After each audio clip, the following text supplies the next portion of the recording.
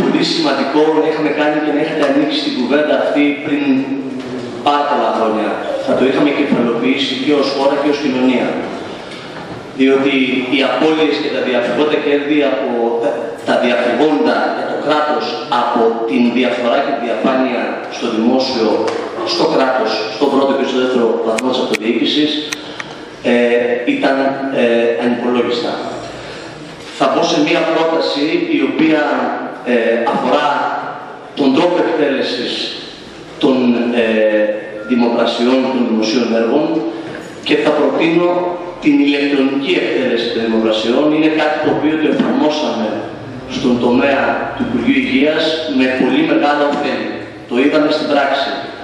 Και διότι αυτό θα μπορέσει να μας απαλλάξει από εναρμονισμένες πρακτικές και συνεννοήσεις οι οποίες είναι γνωστές σε όλους πώς γίνονται, πού γίνονται και με ποιους γίνονται. Το να απολογείται η αυτοδιοίκηση διαγενειακά για την διαφάνεια και τη διαφορά στο κεντρικό πολιτικό σύστημα νομίζω αποτελεί σχήμα οξύμορο.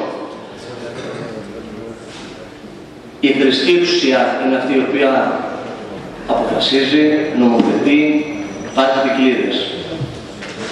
Για το ότι επί τέσσερις δεκαετίες μεταπολιτευτικού πολιτικού συστήματος δεν είχαμε δημιουργήσει το πλαίσιο εκείνων των δικλείδων, κάποιοι ευθύνονται. Ευχαριστώ πολύ.